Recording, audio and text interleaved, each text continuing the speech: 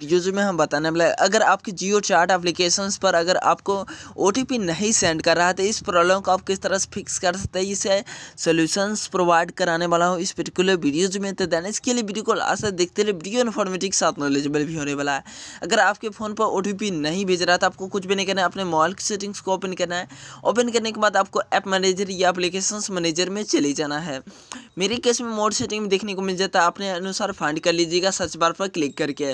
Then इसमें आपको जियो chart को सर्च कर लेना होगा। जियो चार्ट को सर्च करने के बाद आपको जो भी परमिशंस मांग रहा है, सारे परमिशंस आपको फ़ोन जो भी परमिशंस मांग रहा है अलाउ कर देना है। देन बैक करना है।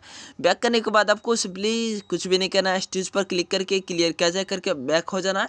उसके बाद बाय डिफ़ॉल्ट आपका फ़ोन में एक मैसेज का ऑप्शन देखने को मिलता है। उस मैसेज में जाना है। देन उसके मैसेज में जाने के बाद आपको परमिशंस में जाना है। परमिशंस में जाने के बाद आपको सारे परमिशंस को अलाउ कर देना है। अलाउ करने के बाद आपको कुछ भी नहीं करना है। अपने मोबाइल को फ़ोन को जो पावर बटन होता है, उस पर आपको प्रेस करना है और फ़ोन को रिबूट कर देना है। रिबूट करने के बाद आपके फ़ोन पर सौ परसेंट आपके ओटीपी सेंड कर दिया जाएगा।